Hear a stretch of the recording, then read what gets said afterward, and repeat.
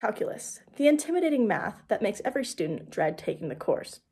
I've taken it for two years. After piles of homework, I wondered, what is the point? What can we use calculus for in real life? That's when I discovered the Gompertz equation, made by the lovely Benjamin Gompertz. The Gompertz equation is a modification of logistic differential equations used to model population growth. It was discovered that the Gompertz growth law was a good fit for calculating the growth of tumors.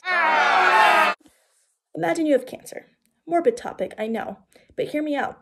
You have a malignant tumor inside of you, and your doctor wants to know when your tumor has stopped growing and when it's growing at its fastest rate.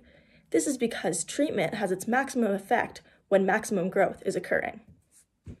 So, how can we figure this out? And I know what you're thinking. 1.200133 centimeters.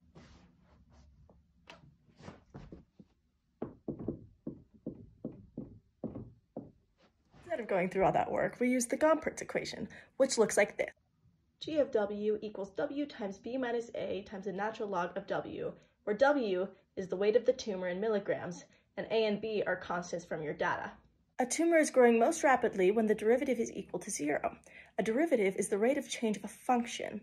In order to find the derivative of this function, we need the product rule of derivatives. This is the product rule of derivatives. It is used when you multiply two functions together when you're deriving.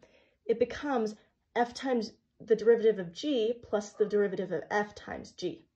Here's a quick example of the product rule using the function x ln of x.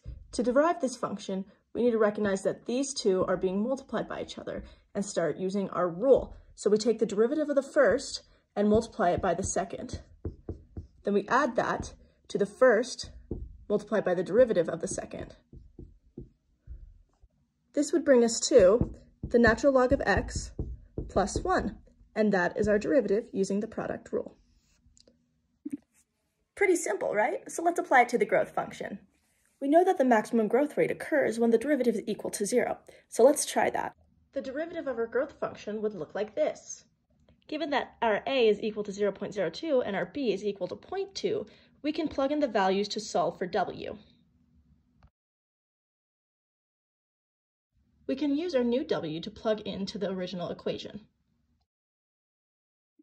Now you can calculate your tumor's maximum growth rate so you can be treated and cancer-free in no time.